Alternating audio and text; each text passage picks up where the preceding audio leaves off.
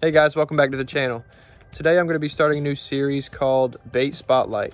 And today's bait is going to be Creme flukes. I've went through a lot of different flukes in the past and Creme happens to be my favorite because they sink really slowly and they just seem to have good action and a good weight to them that you can still throw it on a bait caster even weightless. So in today's video, I'm gonna go through the ways you can use this bait, the action of it, and also the times that this bait will be useful. So my favorite way to fish it is weightless and Texas rigged.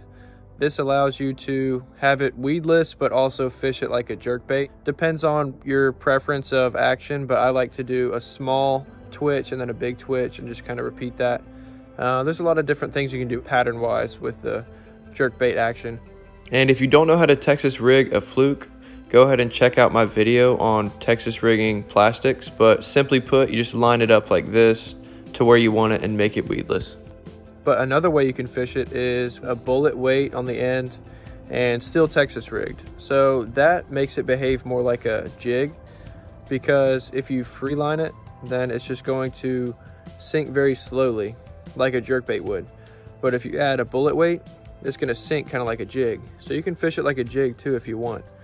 Uh, those are the two main ways that I've heard of. I've tried both. Had a little bit of success with the bullet weight, but most of my success was from the jerkbait action, just weightless. Um, so whichever you prefer, just kind of depends on the conditions too. But let me know in the comments what other methods you might apply to using the fluke. So now we're gonna get into the action. The action is pretty simple. If you jerk it along like a jerkbait, the tail's gonna shake like that. And it's forked too. Forked like that. So um, in the water, it's going to kind of go up and down too, kind of like a fish's tail would. Um, so that's going to add a little bit of action, that tail. But besides that, it's pretty simple and doesn't do much as far as like a swimming pattern if you just reel it in. A lot of it depends on your presentation. So if you're going to fish it like a jerk bait, obviously it's going to dart. It's going to dart a lot like a jerk bait would. It's going to dart in a zigzag pattern and that tail is going to shake while you do that. Now, if you're going to fish it with a bullet weight, like I mentioned earlier, again, it's going to sink to the bottom like this, nose first. And the tail's still going to shake, but it's going to kind of bounce off the bottom, right? So that action is all in the tail. And you might ask, when will this bait be useful to me? Well, fall is a great time to use this bait. I've had some success recently, even in my last video, uh, with this bait specifically. But the real answer is you can use this any time of year because the fact is bass will always feed on bait fish. So you'll always get bites on this depending on how you fish it.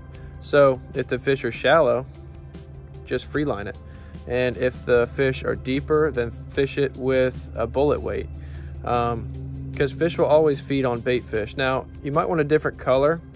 If your bait fish in your local water isn't isn't going to be a white color like that, you might want to change the color to something that looks like a bluegill or whatever your local bait fish might be. Match the hatch and you'll catch fish on this year round. Now, I will say the best time for the fluke would probably be fall because that's when bass are really focused in on the bait fish specifically uh, to feed up for winter. So if I had to tell you what the best time would be for a fluke, it'd probably be fall. You can fish it just like a jerk bait, except you can put it through a lot more vegetation and it won't get anything on the hooks because obviously it's going to be Texas rigged if you are fishing it one of the ways that I mentioned. But that's the beauty of a fluke. You can fish it in a little bit deeper cover than something with treble hooks. But thank you guys for watching. I hope you guys enjoyed this video. Let me know what you think of this series idea. Uh, I plan on adding to this series maybe once every other week or something like that. Maybe once a month. Uh, we'll just see how it goes. These baits that I'm going to be putting in the spotlight are baits that I've tried and I know work well. But to anybody who's stopping by my channel for the first time, consider subscribing. I do have videos coming out twice a week, once on Wednesday and once on Sunday, both of those days at 2 p.m. Eastern Time.